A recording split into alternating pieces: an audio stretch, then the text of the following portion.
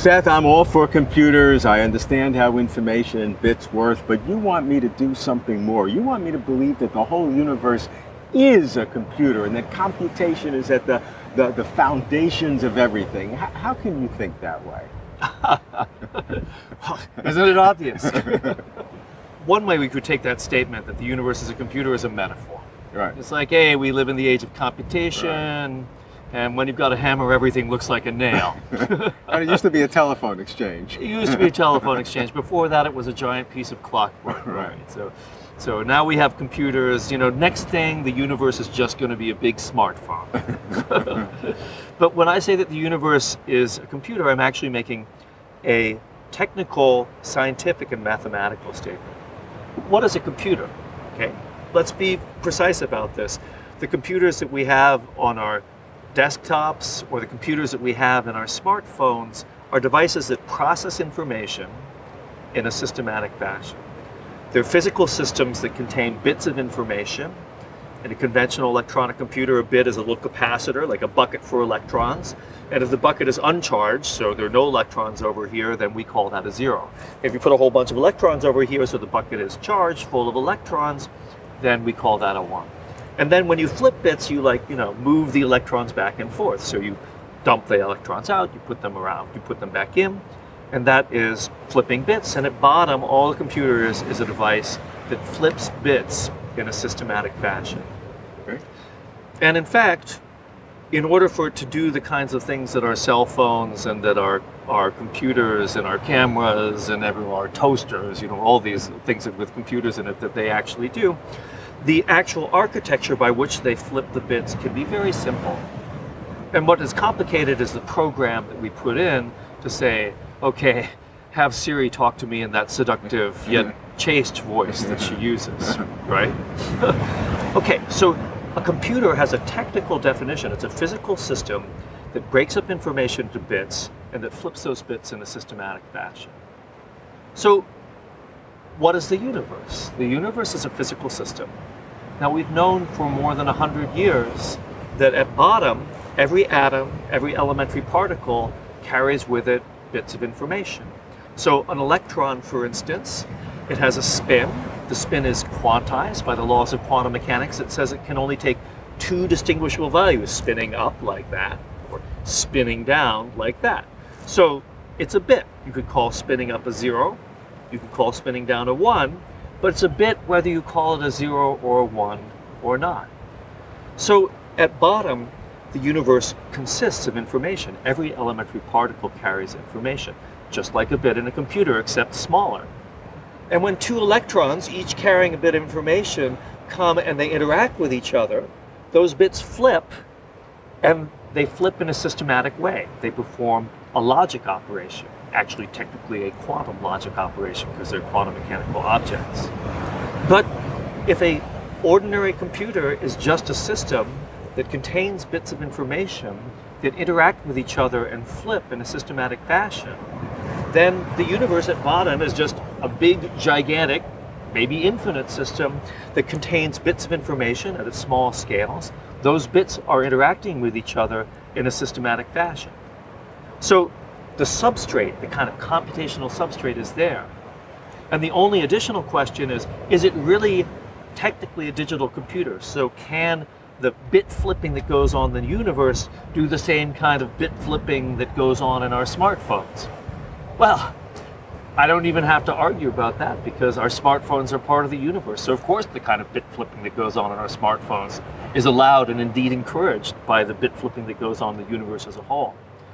And even more remarkably, we can build quantum computers that store bits on individual atoms and elementary particles and actually do this computation at this microscopic scale. So the claim that the universe is a giant computer is not just some metaphorical claim, it's actually a technical claim about what is a computer.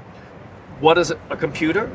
Technically, it's a system that contains bits of information, that flips those bits in a systematic fashion, and that's capable of doing what's called universal computation, which means basically anything that our smartphone or computer can do. But what is the universe? It's a system that contains bits of information at its most microscopic scale, that flips those bits in a systematic fashion, and that certainly can do anything that a computer or smartphone can do, and much more. So when I say that the universe is a computer, I'm simply stating a scientific and mathematical fact. Now, one superficial difference is that in our computers or smartphones, the hardware is fixed and the software enables that hardware to do lots of different things with the same hardware. Whereas in the universe, all of the hardware is always doing the same thing as itself. It's not programmed to do something different, even though there's a lot more of it, of course. well, I mean, it depends on what you call hardware and software. So in, in an actual computer, we're accustomed societally to refer to hardware and software. But you know, this distinction is not actually as precise as one like to think. So what do we think of software? It's bits in the computer that can be changed. But there are many bits in memory that are just fixed there. They never change. In fact, I think that 90% of Microsoft Word is just dead code that never gets called, never does anything, never changes. Now, physically, you know, those are electrons that are over there, sure, and yeah. they're supposedly software, but the difference between that and hardware is not precise. So, in the universe as a whole, a good way to think of hardware is the physical substrate, the quantum fields, the, the space time in which these quantum fields move is the hardware, the physical stuff that's there. The software are the things that are open to change, that can be changed where you can flip bits in a different way so that you effectively program this piece of the universe to do something different from what it was doing. So for instance, when I'm talking to you, you could say that the, you know, the atoms and molecules in the air between us that is transmitting the sound from my uh, mouth to your ears is hardware, but the specific way that those sound waves are waving up and down to try to construct something approximating coherent language, that software. Mm. You've specialized in quantum information theory and, uh, and in uh, really figuring out how quantum computers can work.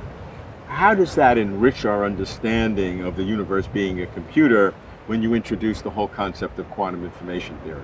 I came to the understanding that the universe is a computer, which again, it's really a mathematical theorem about the physical universe. It's not some metaphor. It's like, here's a physical system. Is it a universal computer or not?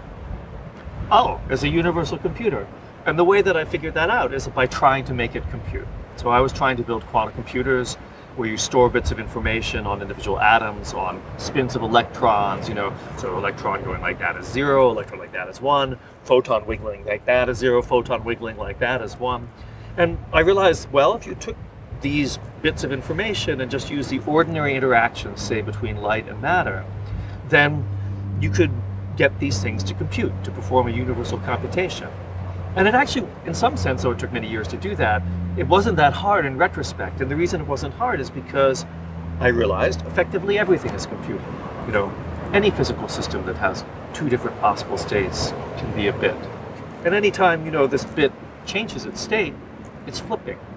And so at bottom, the universe is already performing a computation, and that when we're building our quantum computers, we're effectively hacking in to this ongoing computation that is the universe. What are the implications of the universe being a quantum computer rather than being just a computer? So the thing that distinguishes quantum computers from ordinary classical computers is that quantum computers are weirder than classical computers. So quantum mechanics gives us this basically discrete digital nature of reality. Electron like that is zero, electron like that is one.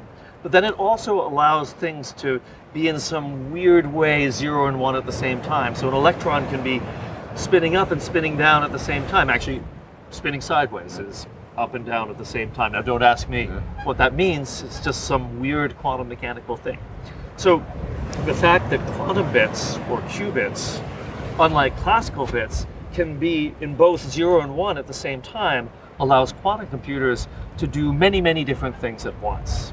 So, a classical computer basically does one thing at a time. And if it's got, you know, two cores, it can do two things at a time, right? Whereas a quantum computer, even if only has one quantum core, can do a gajillion things at once, called quantum parallelism, this kind of quantum multitasking.